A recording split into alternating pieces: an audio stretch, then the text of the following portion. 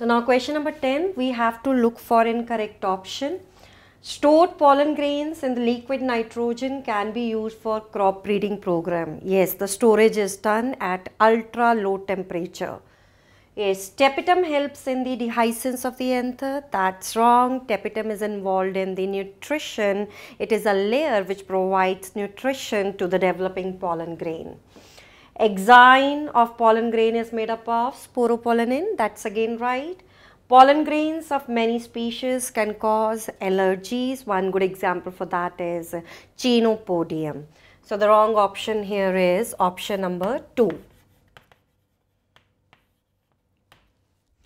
Again we have to look for a wrong option here. Phycomycetes are also called algal fungi. Yes, why algal fungi? Because the wall is made up of cellulose that is not made up of chitin. Cyanobacteria, also called blue-green algae, that's again right. Golden algae, also called desmids, right? They are the protists, they belong to the kingdom Protista. Eubacteria are also called false bacteria. No, it's not false, that's the true bacteria.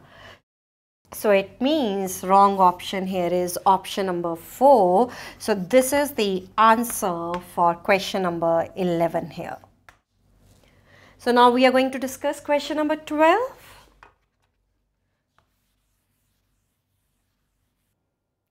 Now question number 12, it had come in All India PMT several times. It is related with the hormones. The Avena curvature test is used for bioassay of, you know that the Avena curvature test, it is bioassay of auxin. Now first option is ethylene, so it cannot be ABA, abscisic acid.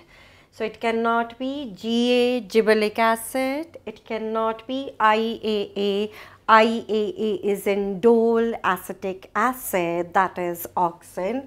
So the right answer for this question is option number 4. So let's discuss 13th question.